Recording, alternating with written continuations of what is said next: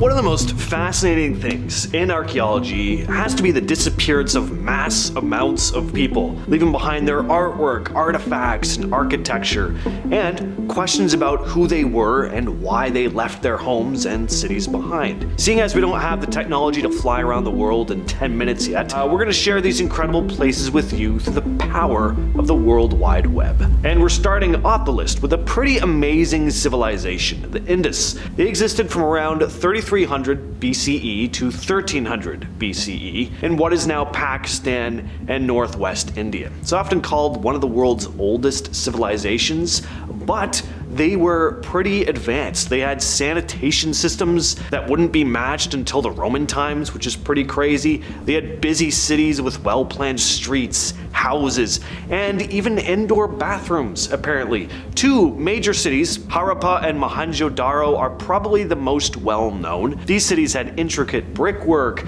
drainage systems, and there's evidence of a written script that we haven't even been able to fully decipher to this day. These folks were were not just good at city building, they were also savvy traders. The Indus people traded with Mesopotamia, using boats to transport goods. Agriculture was a big deal too, with well irrigated fields for growing crops.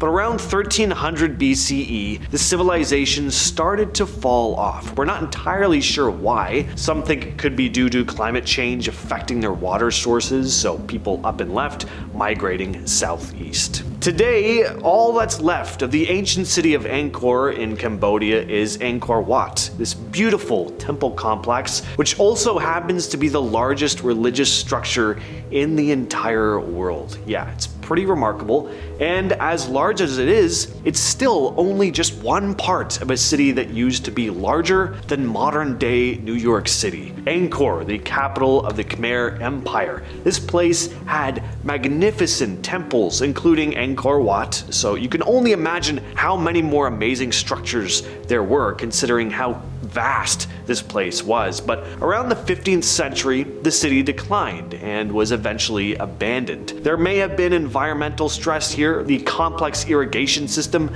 may have strained resources, causing soil depletion and impacting food production. There could have also been prolonged droughts that affected their ability to support a large population. Researchers aren't exactly sure how many people lived there, of course, but considering the size, there were probably a lot. And there were also power struggles and invasions, which weakened the Khmer Empire, eventually leading to the decline of their largest city, followed by the empire itself about 300 years later. This next civilization was also pretty incredible, but things didn't end quite as uh, smoothly for them as the first point on this list. Rather than people just moving and settling somewhere else because of issues with agriculture, it looks like things ended pretty violently for the Anasazi. The Anasazi were an ancient Native American people who lived in the Four Corners region of the United States, where Colorado, Utah, Arizona, and New Mexico meet. They were skilled builders, creating these impressive homes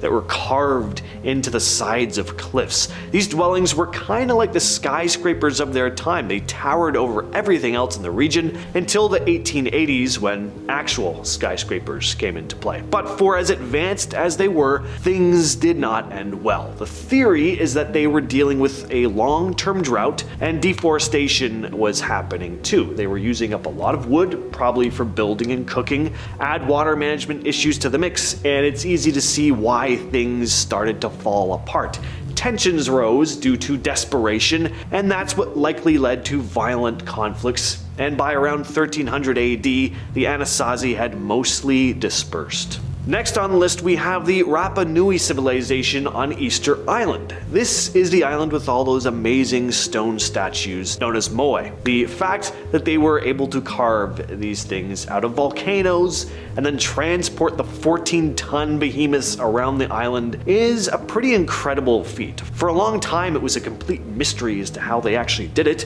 but it turns out they would have used a system of ropes with a team pulling the statues back and forth, making the moai kind of like walk. It's pretty cool. So what went wrong with the Rapa Nui? Well, scientists dug into the dirt, looking at ancient charcoal pieces and pollen in the soil, found that the Rapa Nui had chopped down almost every tree on the island.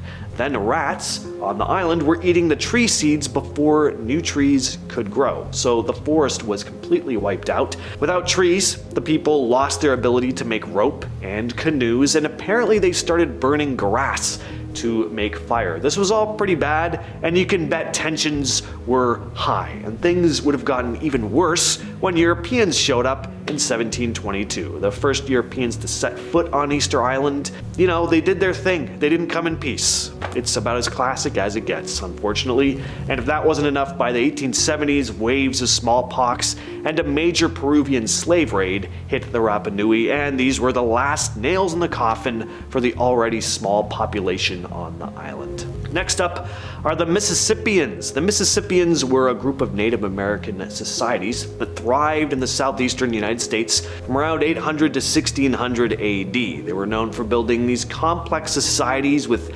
impressive mounds, and Cahokia was one of their biggest and most impressive cities. This place, located near present day St. Louis, Missouri, was the largest pre Columbian settlement north of Mexico. At its peak, it had a population of around 20,000 people, possibly even double that. It had enormous earthen mounds, including the famous Monk's Mound, which is still one of the largest man made earthen mounds in North America, but it eventually fell. Around the late 13th century, the population began to dwindle, and by the 14th century, the city was largely abandoned. Nature slowly reclaimed the area. It's not very clear what led to the decline. There aren't explicit records from that time, but it was probably a combination of things environmental and economic.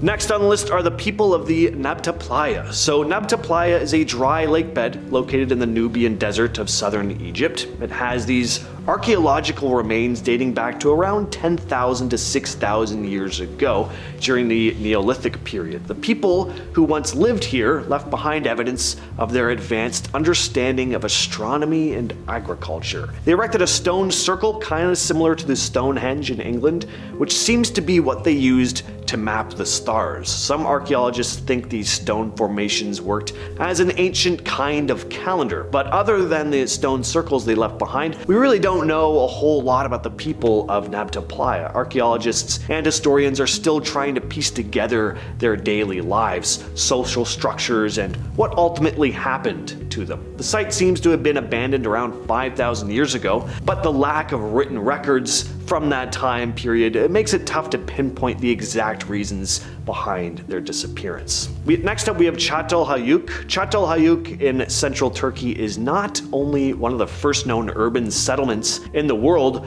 but also one of the strangest. So instead of streets like you have with most cities, I mean every city, here all the homes and buildings were connected, and to get around, people walked along the paths on roofs and then descended down into their homes with ladders. Looking at images of the place, it looks almost like a, a big ginormous honeycomb type of formation. It's very unique. There aren't really any places like it. There were also no cemeteries. Residents buried their dead underneath their own homes. The fate of its inhabitants is still mysterious, which isn't surprising considering how ancient it is. But around 6700 BCE, the site was abandoned, and researchers are still piecing together the reasons behind it. The ancient city of Thonis, which now sits at the bottom of the Mediterranean Sea. I love ancient underwater cities. There's just something so beautiful but eerie about them at the same time. So Thonis was an Egyptian city located near the mouth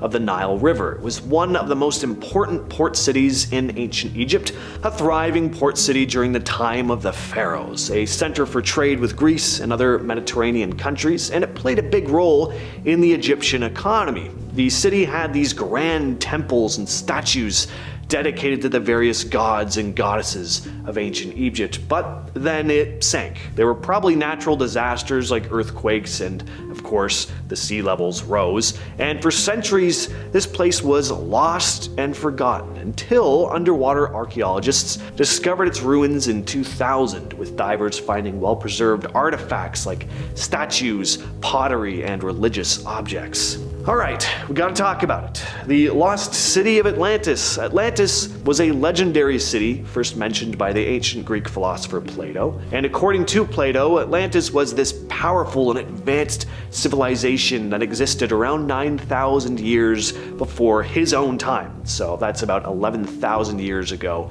from today. But it's still a complete mystery as to whether or not this place really did exist. A lot of uppity scientists say it didn't, but they also sound very not fun. It's said that Atlantis had a sophisticated government, advanced technology, and a prosperous economy. The Atlanteans were described as this powerful, warlike people who eventually became corrupt and decadent, leading the gods to punish them by submerging their island beneath the sea in a single day and night. The exact location of Atlantis is still unknown, and there are a lot of archaeologists that figure Atlantis the whole story behind it was really just a legend and an allegory rather than an actual place. Some of the rumored locations, though, range from the Mediterranean to Antarctica, but there's never been any definitive physical evidence of its existence. And finally, of course, we have the Maya, who created some of the most incredible architecture and artwork of any known ancient civilization. And not only were their cities and artwork spectacular, but their knowledge about astronomy unparalleled for the time. But around the 9th and 10th centuries, their cities, which once bustled with life, started to empty out, and that's always been a mystery as to why. It's hard to pinpoint an exact cause because parts of the civilization fell at various times. It was a wide stretching civilization with various languages and practices across the board, but there are some ideas as to what happened. Environmental stress, is usually a big factor. Could have been droughts or crop failures. Another thing could be overpopulation. Resources could have started running thin, and when there's overpopulation, uh, there's more violence. Not a great recipe for a peaceful society. There might have been some political problems as well, with rulers losing control, causing internal conflicts. But with all of that said, I'm your host, James, and I will catch you, yes, you specifically, in the next video.